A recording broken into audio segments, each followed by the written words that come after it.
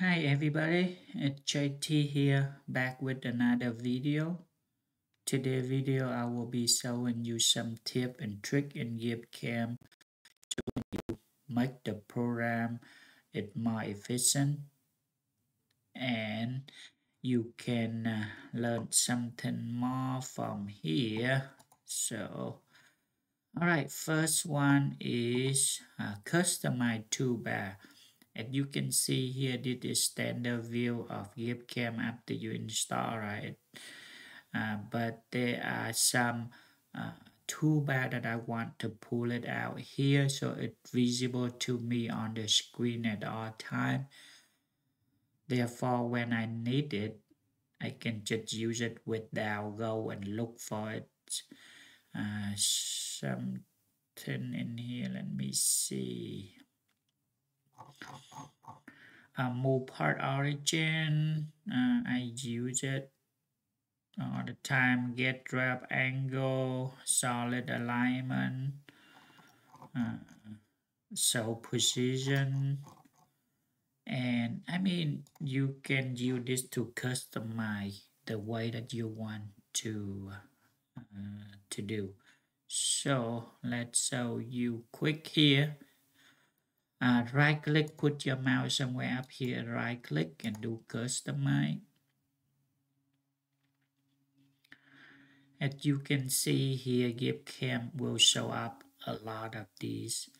Uh, you can customize the way you want. You can new name your new toolbar but I only use like a few of them. So I will show you how to pull it out. So let's see show position right? So okay like this.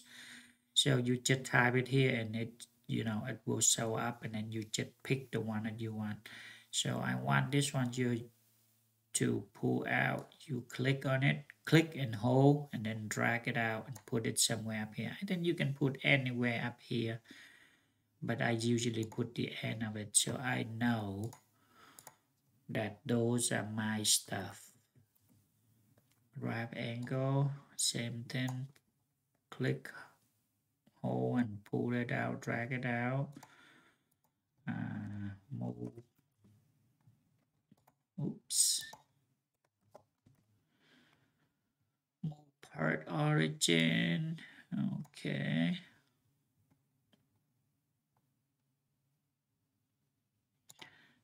uh, solid alignment.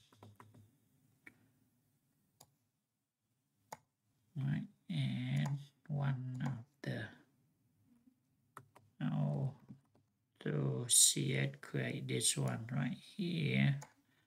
This is I use a lot because I make the program on 5-axis this is very handy. Um so I think that's good enough for me. Uh, let's just pull one out. Accidentally right? So let's say if you accidentally uh, you pull out the one that you don't want uh, couple days later you change your mind you don't want this anymore. How do you remove it?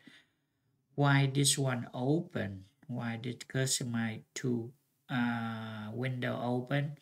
You just click on it and hold it and drag it out somewhere and it will be disappear. That's easy right all right so that's the first one. The second one i want to show you it right here it called show section view this is handy when you want to see uh, some detail in your uh, model that you don't see it uh, by you know regular view so when you have this one on you can move up and down and somewhere that you can see the detail inside. Mm, this is I think this is good for like when you have complicated part like usually um, auto engine or something that inside there and you don't see it you can use this one to take a quick look and see what inside. You can uh, you with different view but this one just a top view.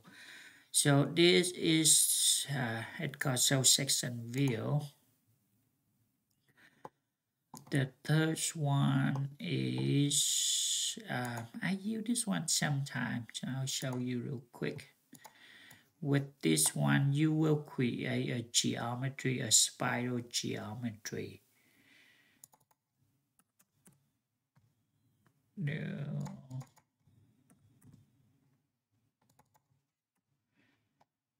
okay so this is the you look at the picture you can uh, tell what need to be filled out and you fill out whatever you need to uh, this is the position where it will be located. So let's do in the center too small.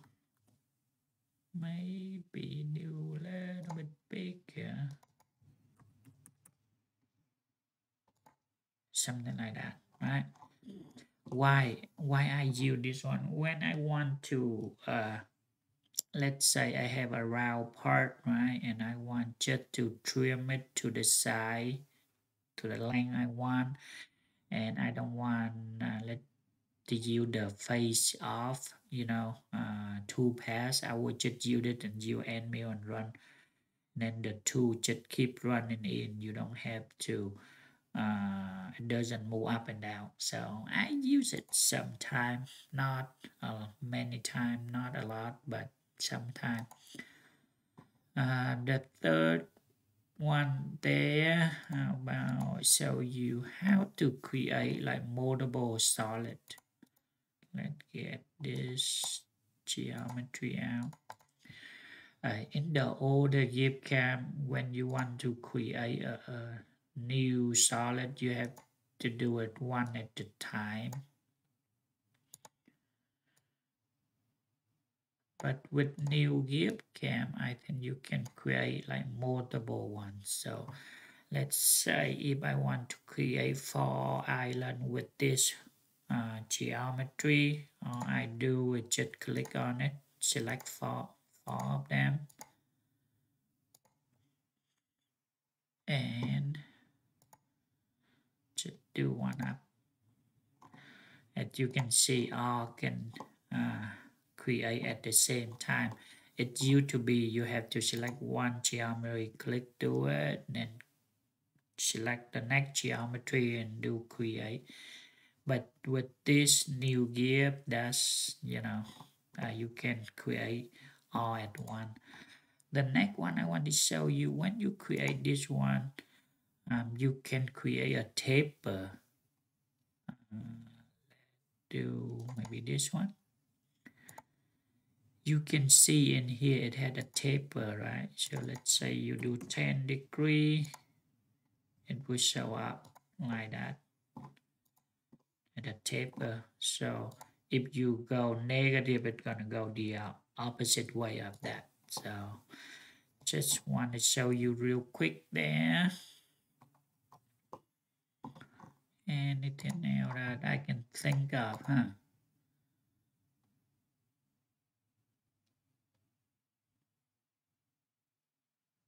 Uh, taper thread, yeah, I think I already show you this is when you want to create a NPT th uh, thread tab hole.